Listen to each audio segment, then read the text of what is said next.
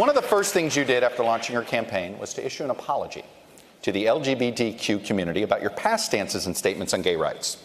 After the Trump administration's rollbacks of civil rights protections for many in that community, why should voters in that community or voters that care about this issue in general trust you now?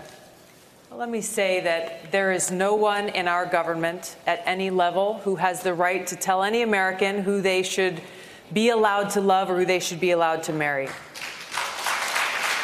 My record in Congress for over six years uh, shows my commitment to fighting for LGBTQ equality. I serve on the Equality Caucus and recently voted for passage of the Equality Act.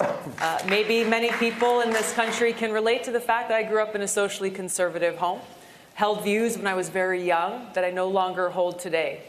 Uh, I've served with LGBTQ service members, both in training and deployed downrange. I know that they would give their life for me, and I would give my life for them. It is this commitment that I'll carry through as President of the United States, recognizing that there are still people who are facing discrimination in the workplace, still people who are unable to find a home for their families. It is this kind of discrimination that we need to address. But it's not Thank enough. You. It's Thank not you, enough. If I can add to this, it's, it's, very important. 30 seconds. This is not Senator. enough. Look, civil rights is some place to begin, but in the African American civil rights community, another place to focus on was to stop the lynching of African Americans.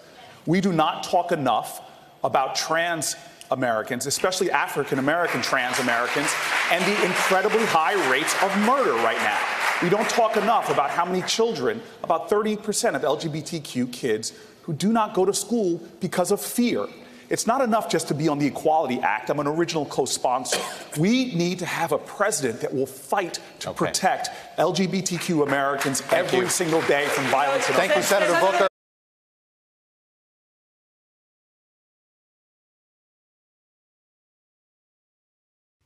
Hey, NBC News viewers, thanks for checking out our YouTube channel. Subscribe by clicking on that button down here and click on any of the videos over here to watch the latest interviews, show highlights, and digital exclusives. Thanks for watching.